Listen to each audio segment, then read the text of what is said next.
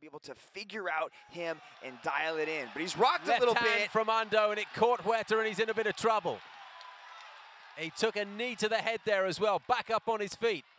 And he's in some trouble here. Knee to the body as well. Left hand, right hand from Ando. Huerta's definitely in trouble. Takes a big right hand back to the cage. Ando's unloading. Huerta is throwing punches back though, not doing much to defend himself, but he is coming back with punches. Goes on a little walkabout, takes a left hand from Ando. Tries to go for the double leg. Down to his knees and back up again. Shakes his head. Tries to fight through it. Ando chases him. Left hand, right hand. Huerta's back to the cage. They're coming in in heavy, heavy loads. Knee to the body from Ando now. The Japanese well on top. It's all Huerta can do to fight off this man now. These are some big shots taken by Roger Huerta, and for him to still be standing in front of Ando is a true testament to the warrior that he is. But how discouraged must Ando be? He's taking, he's laid a beating down on Roger Huerta, and he's still standing in front of him. That was quite a burst, and Huerta remains on his feet and is still throwing punches. It's not about defense for Huerta here. It's about mixing it up. This is the brawl of the year right now, but again, Huerta sinks to his knees gets his head pushed down into the canvas. For a minute, I thought a technical ground kick was coming in, but down goes Ando as well. A minute left in the second round. Right hands from Ando. Roger Huerta is taking a beating from this position. He's got to start moving to get out of there. He is just unloading on him. What a chin showcased by Roger Huerta. Huerta's head is open to the knee to the head, but for the moment, Ando concentrates on the fist. He drew back that knee again, just looking for that knee, knee strike. 30 seconds left for Huerta to survive, but he's not even thinking about survival. All he's got on his mind is throwing as much as he's receiving.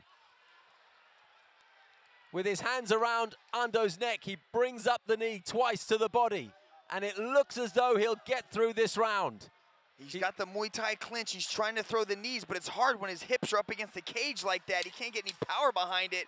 Looking He's- a little bit ragged there in the dying seconds. If this round went on another minute, Ando possibly could finish it off, but Huerta will pull through. He, he hit Huerta with that left Kick. hand, managed to showing some speed. He's in tremendous shape, doesn't he? Oh, just got Oh, there by switching stances.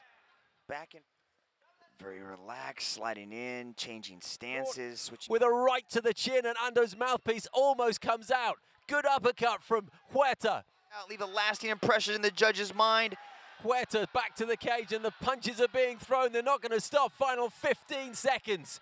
Overhand right from Huerta. Test. It could well go to the judges' scorecards. Ando continues with lefts and rights, gets His caught. game. This is Roger Huerta 2.0. In there, he just seems to be enjoying the moment.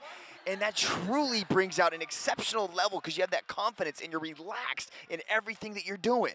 Ando's punching straight, meaning that Huerta has to expend energy, but not score. Good right uppercut from Huerta. Follows it up with a couple of kicks to the right thigh of Ando. Point he might choose to explode on Ando again. Using the boxing technique. while Or left hand from Ando, and that stopped Huerta in his track. He's oh, nice uppercut from. Roger Huerta. Swinging back fist from Huerta. The point is you can sometimes get a little bit too comfortable. If you have good kicks, that right leg. to switching left and right while Ando is Oh, only going forward with his hands. Yeah, his so he's is very successful for him.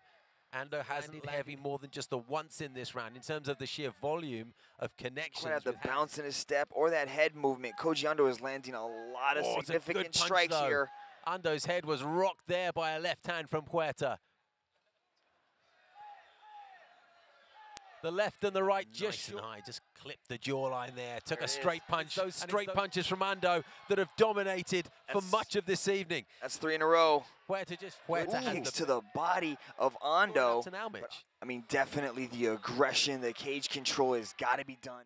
Mixes in a bit of knee there and then gets driven into the side of the cage. Offensive weapons from the judo background with the throws. And the inside of the left leg, and that would really have hurt on the lower quad there. The exponents are as skilled as this, and Huerta is unloading now. Different again from the first round. Comes in with kicks as well. Drives his opponent into the cage.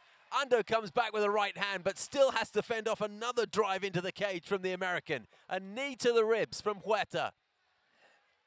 Onslaught. Now he's starting to turn up the volume a little bit here on Ando. You can see Huerta coming in and out. He's trying to stuff for the takedown, working him up against the cage. Ando spins him around. Huerta's throwing in a variety of different weapons that he's choosing to use tonight. He's trying the lateral walk away, but Koji Ando is actually punching him as he's walking away. Grabs that single leg and drives Ando up against the cage. Final 10 seconds. Left hand from Ando, kick to the shoulder. What a contest this has been, and when the bell goes, this crowd will be on their feet. It was an engaging contest from start to finish.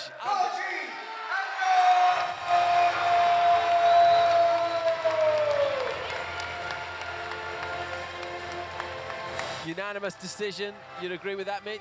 I would have to say I would. He just really turns it on those last 10 minutes.